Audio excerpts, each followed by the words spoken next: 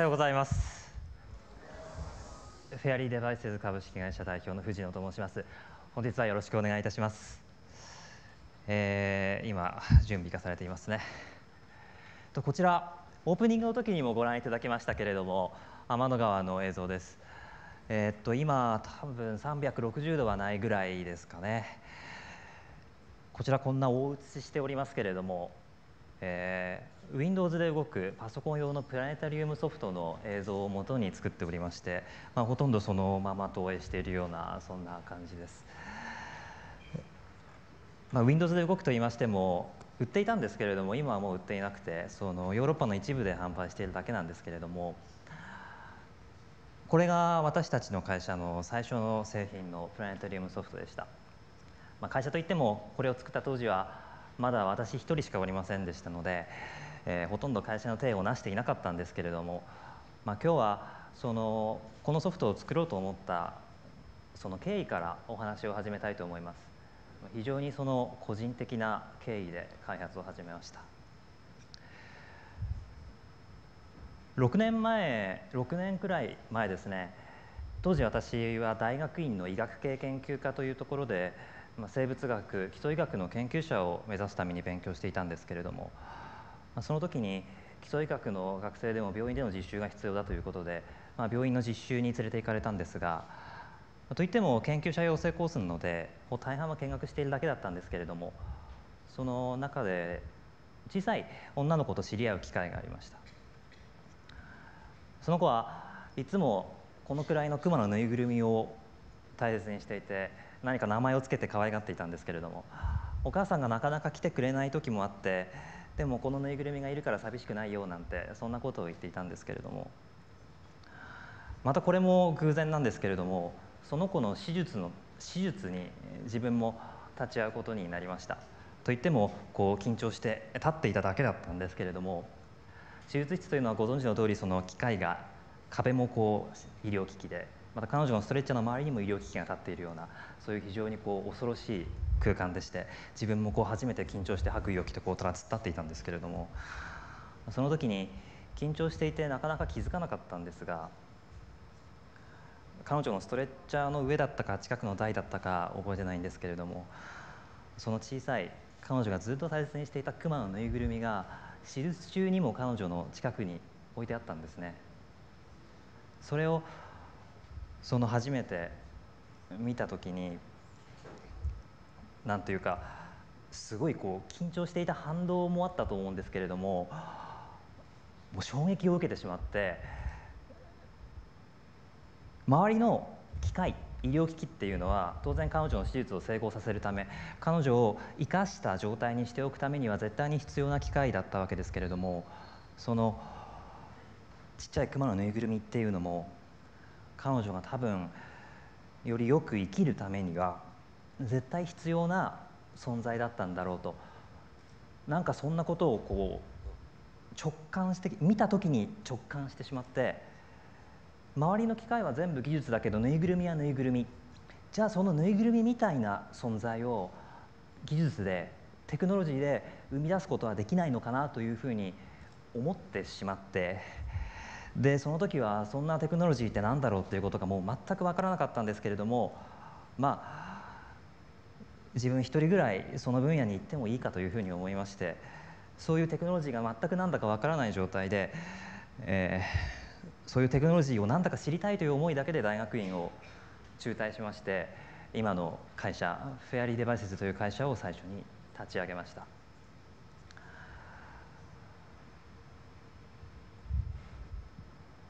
はい でその彼女がまだ手術を受ける前ですね入院してる時にそのたまに話すことがあったんですけれども金曜日の夕方ぐらいにこう空を見て「お兄ちゃんあの星様何?」っていうふうに聞かれたことがあったんですね。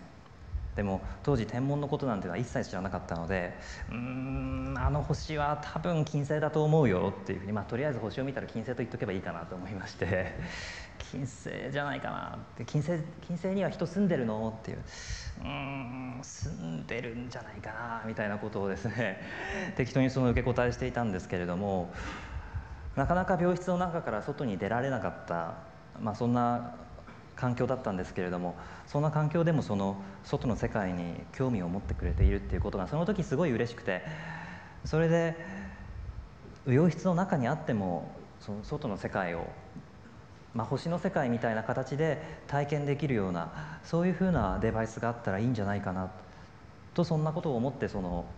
最初の製品このプラネタリウムソフトを作りました。内容はちょっと映像がございますのでそちらをご覧いただければと思います。画面切り替えられますか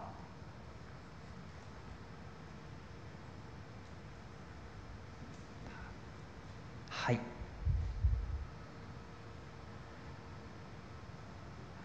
えー、っとですねタブレットパソコンでして、まあ、当時は iPad などもなかったんですけれどもそのタブレットパソコンをですね向けた方向の星空をセンサーを使いまして全く同じ大きさで等倍でこう映すというふうな、ものを作りました。今は iPad や iPhone のアプリケーションで同じようなコンセプトのものはあるんですけれどもあ、まあ、ちょっと最後のやつはどうでもよかったんですが その当時は iPad もそのものもない時点で病室のベッドにその横になった状態でもうこうやって病室の白い天井を貫いてその先にある天の川が見えたらいいなとそんなことを思いました。ですがそのそういう動機で作ったわけですけれども子供騙しの製品にはしたくなかったんですね。なんか二重に写ってますけれども。えっととにかく世界で最高の写真を搭載したいと思いました。じゃあ世界で最高の写真っていうのは一体どこにあるんでしょうか？はい。えっと多分まあ、詳しい方はご存知かもしれませんけれども私も完全に素人でしたので全く知りませんでした。うん多分宇宙に詳しいのはアメリカ航空宇宙局 NASA っていうのは聞いたことがあるぞと。いうふうに思いましてじゃあ NASA のホームページを見ようって NASA の代表電話番号に電話しようということで、まあ、とりあえず電話してみました。えー、時差を考えて午前2時ぐらいに電話しました。そうするとですね、まあ、大体お前の言ってる英語は訳がわからないと言われて、えー、門前払いを食らうわけですけれども、まあ、門前払いを食らうのは想定済みということで毎晩毎晩毎晩毎晩しつこく1週間ぐらい電話をし続けていましたらなんだかわけわかんないやつがいるけれどもちょっとこっちにつないでやるかということで別のデパートメントを紹介されましてそこに電話するとまた別のデパートメントを紹介されましてたらい回しに会っていくうちに適切なデパートメントにたどり着いてですねじゃあそういうソフト作るんだったら我々が写真データを提供してあげようと。なんで君は最初からこのデパートメントに電話してこなかったんだと。知るかと。いうことをまず NASA さんで味を占めまして成功体験というのは人を変えるんですね。次はヨーロッパ宇宙機関 ESA というのがあるぞと。よしじゃあそこに電話してみようまあ、全く同じスキームでそこからもデータをいただくことができました。オーストラリア天文台連合というのがあるぞ。そこに電話してみようということでやはり電話というのはその素晴らしい発明でして、えー、合計して大体10テラバイトぐらいのデータを、えー、このソフトウェアに搭載することを目的としてライセンシングしていただくことができました、当時ですね秋葉原でハードディスクを購入しますと1つのハードディスクが大体250ギガバイトぐらいだった時代。その時代にですね10テラバイトのデータを社内にストレージしなきゃいけなかったのでハードディスクがこう山のように 積まれましてですねそれを称してハードディスク番長というふうに、呼んでいたような時期もございました。で、えー、っとスライドを回していただけますか？あこれはハッブル宇宙望遠鏡の写真ですね。ハッブル宇宙望遠鏡の写真も何枚かライセンスいただきました。次お願いします。これはソフトウェアのスクリーンショットをこの前撮ってきたやつなんですけれども、えっと、オリオン座大星雲の中にある、えー、あ失礼しました。オリオン座の中にあるオリオン座大星雲の写真ですね。こういう写真が大体、えー、3000から6000領域ぐらいソフトウェアの中にプラネタリウムソフトですのでソフトウェアの中に搭載しています。次お願いします。これはスバルですね。プレアデス星団です。動画でお見せできないのがちょっと残念なんですけれどもオープニングのオープニングの天の川の映像がその若干こう瞬いていたのにあのお気づきいただけた方もいらっしゃるかと思いますが、まあ、こちらも、えー、コンピュータグラフィックスと写真を組み合わせていますので瞬いて見えます。次お願いします。これはまあ土星ですね。次お願いします。はい。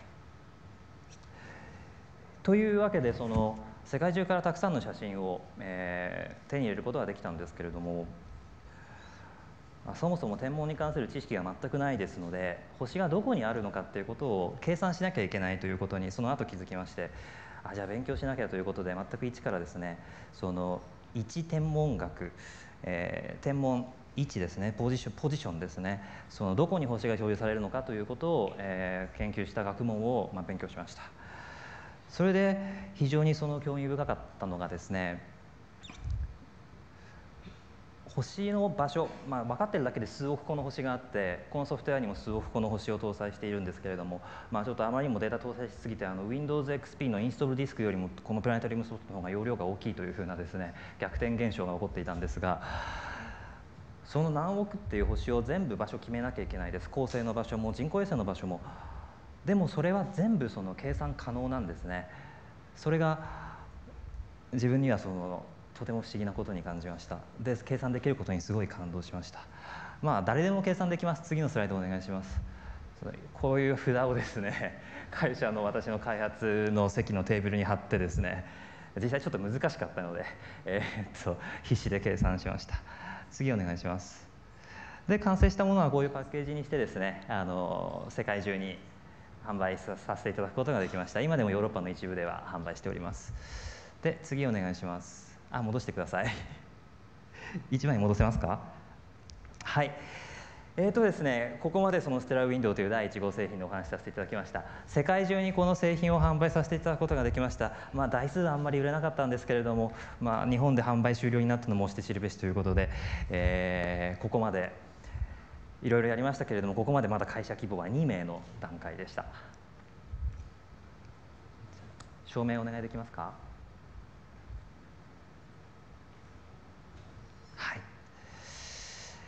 突然切り替わりますけれどもこちらそのバイオリンを演奏するための機械です。バイオリンの演奏デバイスです。人の真似をすることができます。真似をすると言いましてもそのできるのかと真似するっていうのはどうしたらいいかもわからない。だけどもこれはその第2号製品として取り組んだものなんですけれどもはい。もう一度これを取り組んで聞きたい音があってこれを取り組みました。後ほど鳴らしますけれどもその6年前に生物学の研究者を目指していたというふうに申し上げましたが、まあ、実はその前には大学は工学系で、えー、大学には入学しています。専門課程に進学するときにですね大切な人をその病気で亡くすという経験をしましてえー、当時技術者エンジニアとしてなんかちょっとプログラムかけるみたいないい気になっていたそういう鼻持ちならない学生だったんですけれどもそういう経験をして完全にその鼻っ柱をへし折られまして全く病気のことなんてわからない。知りたい。そう思って情報系進学する道を諦めて生物系に進学しています。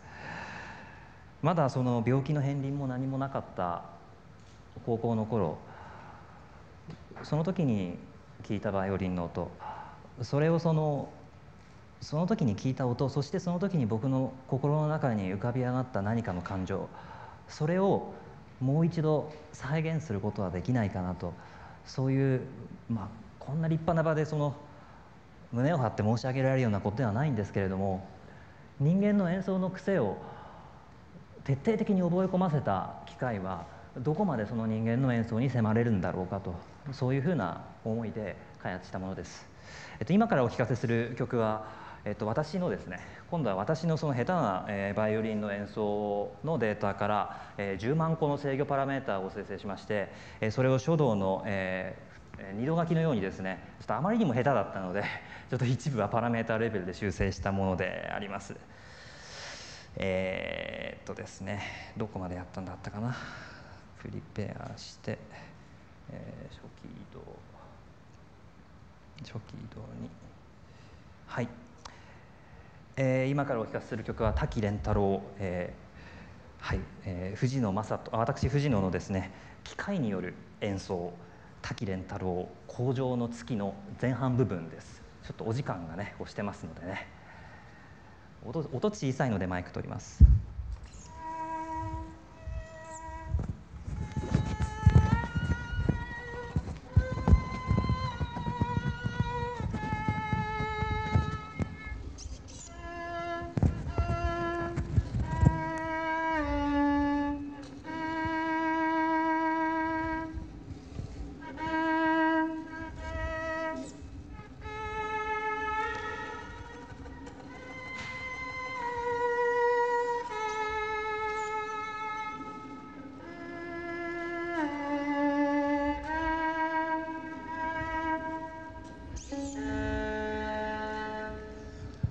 はいすみませんでした。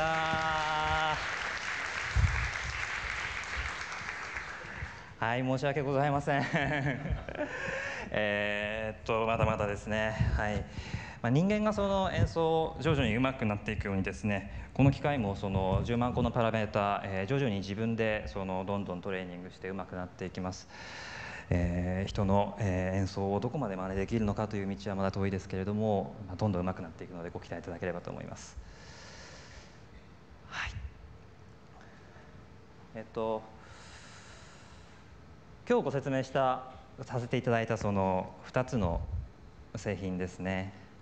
プラネタリウムソフトウェアとこれは製品ではないですね。一体どこに売るんだとこんなもの ありますけれども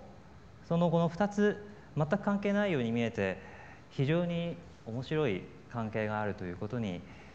気づきました。それがその最初の星。遠い星っていうのはあんなに遠くてあんなにたくさんあるのにすべからく全て計算可能なものです。それに対して近くの人の動き。こういう演奏ですね。こんなものは全く計算できるものではありません。遠い星はあんなに計算できるのに近くの人の動きは全く計算できない。そんな関係があるんじゃないかなというふうに思います。これ元に戻そう。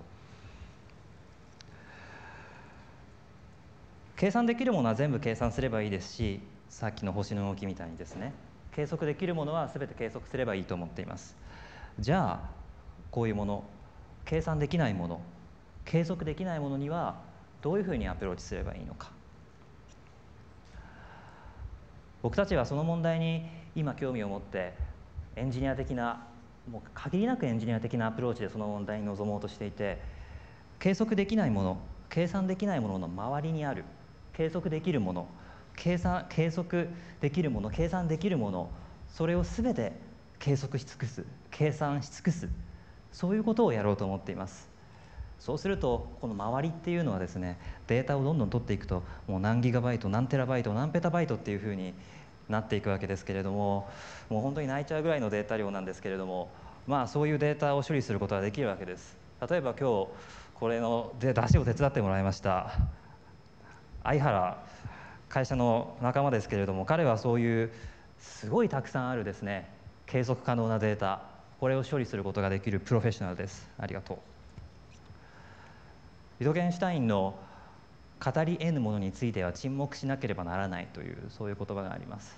今語り得ぬものを計測できないものというふうに考えると語りうるもの語り得ぬものの周りにある語りうるものを全て語り尽くす。そうすることによって語り得ぬものの輪郭がおぼろげながらにも見えてくるんじゃないかと。僕たちはそう信じていろいろな活動をしています。はい。本日はご清聴いただきまして誠にありがとうございました。